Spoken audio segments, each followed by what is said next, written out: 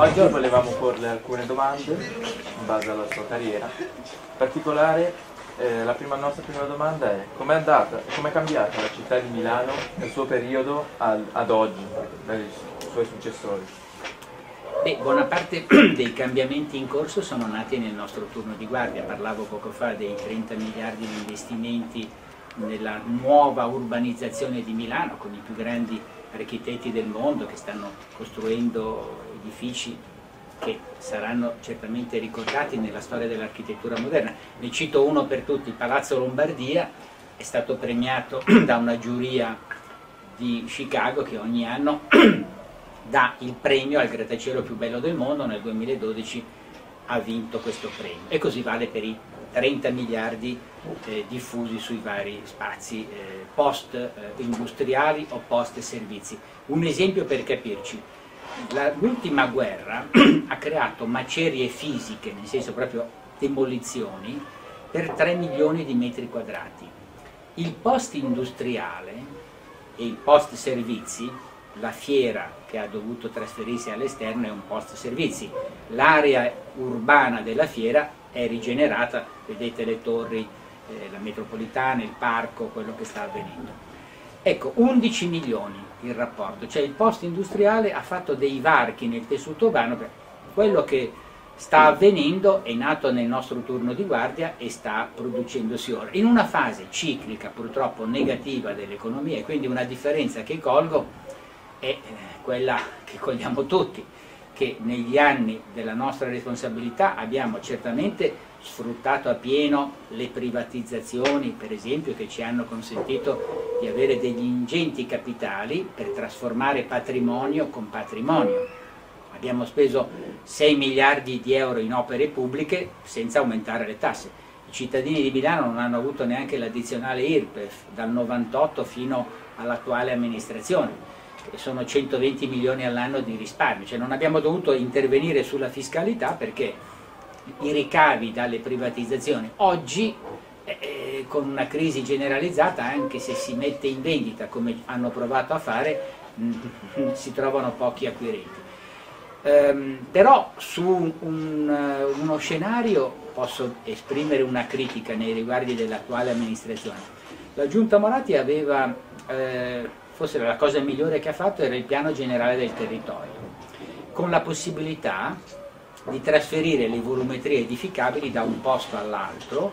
ove non ci fosse un interesse economico a, a quell'area, poteva essere ceduto ai servizi sociali a destinazioni non profit quella volumetria e trasferita in un altro luogo della città dove invece avesse questo significato, il che avrebbe consentito uno sviluppo dell'investimento urbanistico che un'amministrazione retta e corretta avrebbe potuto comunque controllare e, eh, sia nella qualità delle costruzioni sia nella correttezza delle procedure e ha invece fatto una scelta che ha impedito al comune di ricevere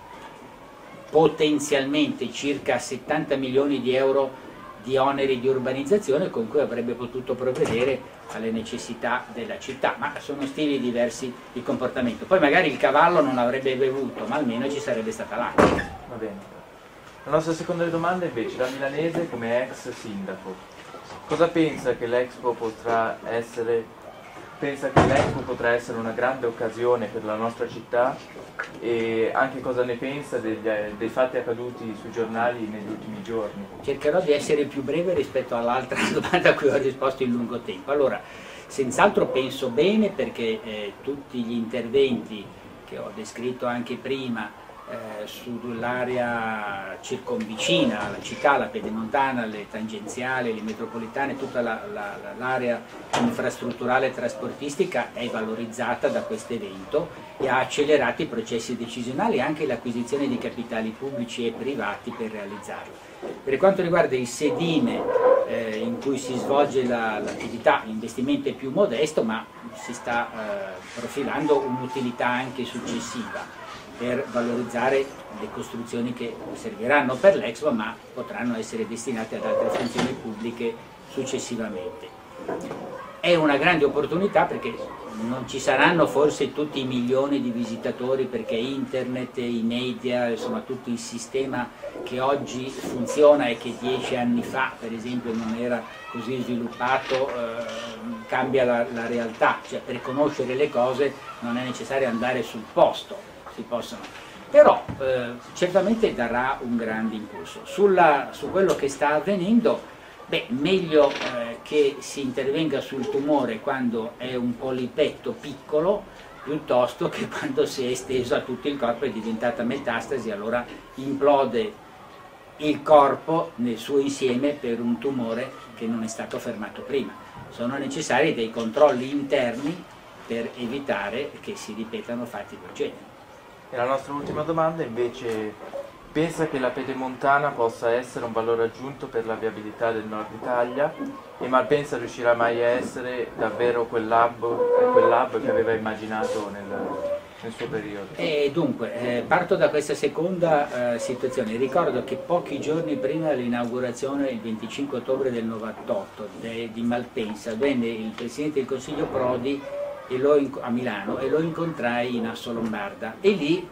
gli dissi papale papale, dice beh allora dal 25 ottobre l'Italia avrà un solo hub e sarà Malpensa, siamo d'accordo? E lui eh, saltò sulla sedia e mi disse ma cosa stai dicendo? Com'è possibile pensare che Fiumicino debba diventare un lumicino? Questo lo dico io per fare rima, ma insomma mi fece capire che era una richiesta assurda, non sarebbe mai stato concepibile una concentrazione solo nel nord, peraltro lo sviluppo che in seguito ebbe eh, Malpensa prima della crisi all'Italia e di altri scenari eh, contrari avrebbe giustificato una scelta coraggiosa, ma i vincoli, sia eh, il fatto della compagnia di bandiera che allora non era ancora privatizzata, sia l'esistenza di forti pressioni sindacali per lasciare tutta Roma, portarono a questo effetto. Ora, due hub non ce li ha neanche la Germania, non ce li hanno neanche i paesi più grandi di noi e quindi la cosa non funzionerà purtroppo perché si doveva scegliere tra Roma e, e Malpensa. In più, in più la mancata privatizzazione di SEA, e qui fu un vincolo che mi impose la maggioranza non riuscì a sbloccarla, ha condizionato anche lo sviluppo delle infrastrutture territoriali di Malpensa con il risultato che abbiamo delle situazioni che non sono ottimali dal punto di vista del quindi io sono un po' pessimista su questa posizione. Sulla Pedimontana non ho niente da dire, nel senso che ci sono state delle polemiche, il mio successore si è dichiarato contrario, io mi sono dichiarato fin dall'inizio favorevole e penso che sia un'opera senz'altro utile e che possa comunque fluidificare eh, il traffico in un luogo dove le merci e le persone si muovono con intensità e con quindi la necessità di poterlo fare con infrastrutture adeguate. Va bene, grazie. Prego, grazie a voi.